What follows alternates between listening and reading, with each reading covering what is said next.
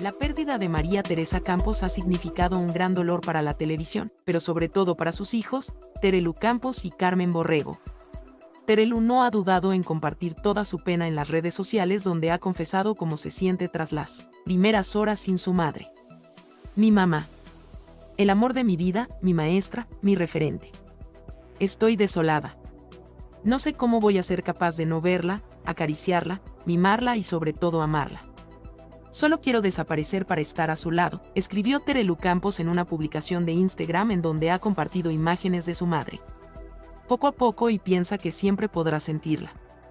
Háblale desde dentro y aunque ahora no lo creas, el tiempo ayuda a sobrellevar.